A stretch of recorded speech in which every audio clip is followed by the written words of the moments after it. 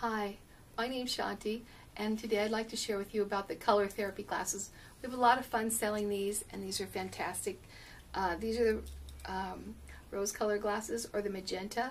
We have red, orange, yellow, green, blue, violet, and turquoise.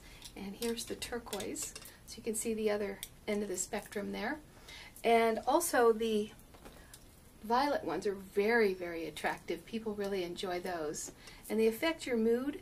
Um, to, to go into what each one coordinates to, we have this chart, which is really colorful and it tells how it affects your glands and your emotions. It's double-sided. It's packed with information.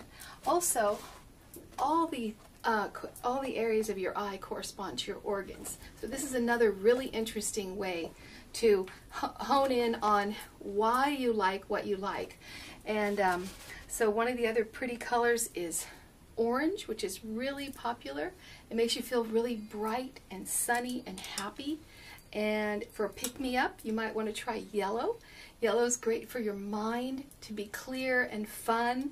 And then um, all the glasses are UV protected. Thank you so much. And please tune in for more beautiful videos from Body Tools. You know it's true, Body Tools, everybody wants to feel good.